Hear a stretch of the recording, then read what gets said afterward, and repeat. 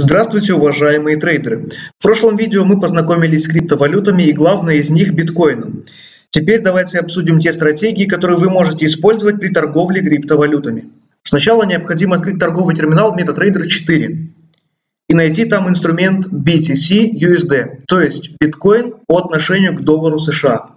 Находим его в списке инструментов и далее открываем его график. В данный момент он уже открыт и мы видим его перед глазами. Также рекомендуем ознакомиться с торговыми условиями по данному инструменту. Сделать это можно на сайте компании Amarkets в разделе «Трейдинг», «Условия торговли». И далее, выбрав вкладку «Спецификация инструментов», где в разделе «Криптовалюты» мы сможем увидеть детальную информацию по всем торговым условиям и по каждой из криптовалют. Обратите внимание, что по биткоину действует кредитное плечо 1 к 3. То есть купить один контракт можно примерно за 850 долларов, а не за номинальную стоимость в 2583 доллара в данный момент. Биткоин является весьма волатильным инструментом. На графике мы регулярно можем видеть импульсные трендовые движения. В данный момент, конечно, преобладают покупатели. Цена в два раза увеличилась всего за один месяц. Поэтому первой стратегией работы с этим активом является покупка при обновлении максимальных значений.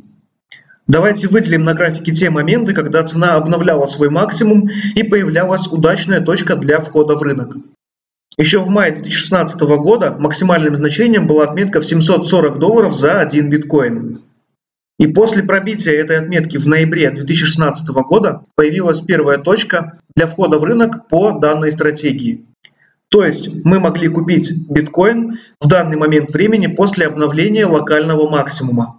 После этого мы видим, что криптовалюта продолжила свой уверенный рост вверх. Следующий максимум был зафиксирован на отметке в 1269 долларов. И после его пробития цена также продолжила рост, при этом мы видели и некоторое ускорение в движении цены. Отметим еще несколько максимальных значений на графике, после пробития которых мы могли входить в рынок по данной стратегии. Эти области обозначены желтыми прямоугольниками на графике. Отметим, что стратегия пробоя максимума используется на фондовом рынке при работе с акциями. Учитывая, что биткоин раньше не находился на текущих уровнях и регулярно обновляет максимумы, мы можем использовать этот торговый план. Реализовать его можно двумя способами. Первый – это выставить отложенный ордер Buy Stop чуть выше последней максимальной отметки. Тогда сделка откроется без вашего участия, как только цена достигнет указанного уровня. Сейчас можно поставить такой отложенный ордер по цене 2983 доллара. Это означает, что после пробоя данной отметки наша сделка откроется автоматически, и мы сможем поучаствовать в дальнейшем росте цены. Второй способ – дождаться пробоя важного уровня и закрепления выше него или тестирования ценой этого уровня уже с другой стороны. Давайте более детально разберем второй способ. Он заключается не в моментальном входе в рынок после пробоя отметки, а в повторном тестировании этого уровня в качестве линии поддержки. Итак, предположим, мы находимся в торговых условиях середины мая текущего года. На этот момент максимальной отметкой был уровень в 1695 долларов. Если мы используем отложенный ордер для открытия позиции, то входим в рынок сразу в этой свече после пробоя максимального значения. Если же мы используем второй способ, то есть пробой и закрепление выше уровня, то входим несколько позже, после того, как сформировалась консолидация выше прежнего максимума, то есть в одной из этих свечей. Итак, аналогичная ситуация с пробоем максимального уровня может повториться уже в ближайшие дни, поэтому вы можете смело выставить отложенный ордер за прошлый максимум, либо дождаться закрепления выше данной отметки.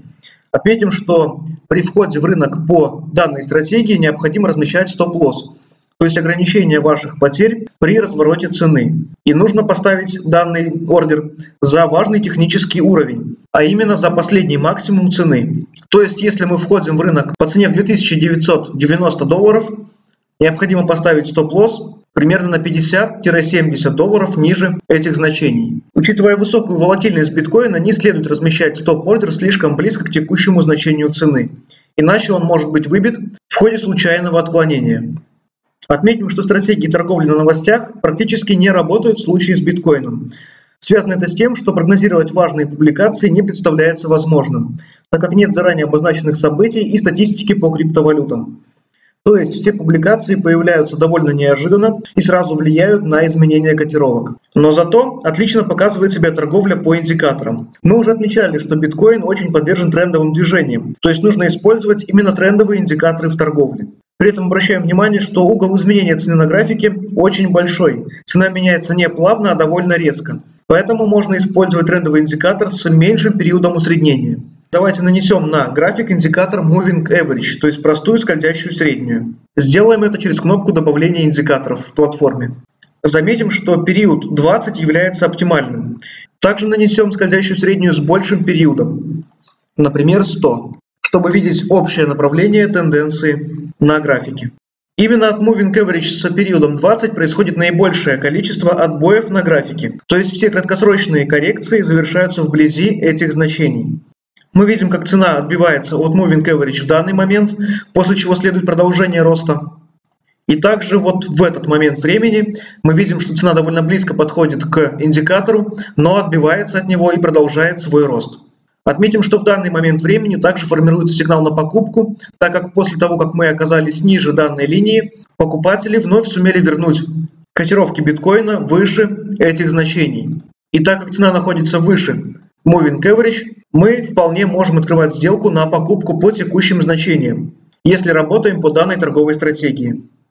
Еще раз отметим, что покупать на откате вблизи линии индикатора нужно с размещением стоп-лосса, который размещается за линию индикатора Moving Average.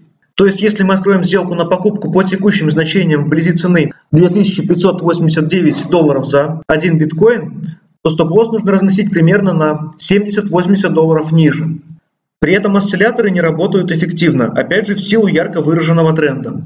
Давайте посмотрим на окно индикатора MACD под графиком. Видим, что он все время сигнализирует о перекупленности. Но фактически это не так и тренд продолжается вверх. На рынке криптовалют настоящий ажиотаж, поэтому спрос на биткоин пока снижаться не будет. И о развороте или движении в боковом канале говорить не приходится. Поэтому осцилляторы можно на время отложить и использовать именно трендовые индикаторы в торговле. Также обращаем внимание, что история биткоина знает немало не только взлетов, но и падений. Поэтому нужно держать в голове и сценарий возможного разворота по инструменту. Давайте проанализируем, как менялись тренды в ходе прошлых движений цены. Происходило две основные ситуации. Первая – это свечная модель поглощения после выхода сильного объема. Сначала мы видим восходящую зеленую свечу аномально большого размера, затем настолько же сильное движение вниз, также в рамках одного дня, либо следующих дней. После этого происходит дальнейшее снижение цены. Модель поглощения мы можем видеть на графике и позже, уже в 2013 году. А второй сценарий – это формирование консолидации ниже предыдущего важного уровня поддержки. То есть мы видим уровень, который сначала был мощным основанием для покупателей, то есть уровнем поддержки, а затем стал уже уровнем сопротивления, то есть от него происходили продажи. Именно поэтому стоило открывать сделку на продажу в данный момент времени. В данный момент таким важным уровнем поддержки является отметка в 2158 долларов за один биткоин. Поэтому при закреплении и консолидации ниже этих значений можно будет начинать осторожные продажи в расчете на продолжительную коррекцию по биткоину. Итак, мы рассмотрели более краткосрочные стратегии торговли, но отдельного внимания заслуживает долгосрочная стратегия.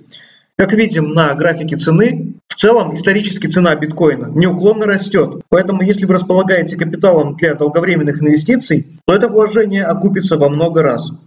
Конечно, рекомендуется покупать после откатов цены, поэтому набор позиций в такой сделке стоит производить постепенно. Изначально нужно купить биткоины примерно на 20% объема от того, который вы можете себе позволить, исходя из размера депозита. Например, при капитале в 10 тысяч долларов целесообразно покупать 2-3 контракта в данный момент, а остальные докупать только в случае коррекции на 20-30% от текущей цены.